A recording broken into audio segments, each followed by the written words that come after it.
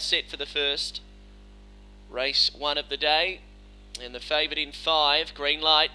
They're set and away. Vitalizer was one of the slowest away, leaving quickly CSA from the outside across to lead Ruby's Boy, and Adriel was away very quickly, followed then by Red Queen over Bisco, Maxi Rogers Boy, and Vitalizer weaving through to midfield. The leader, Adriel. Vitalizer's gone to second, two lengths away, but Adriel has the break, and Adriel went on to win by two lengths over Vitalizer.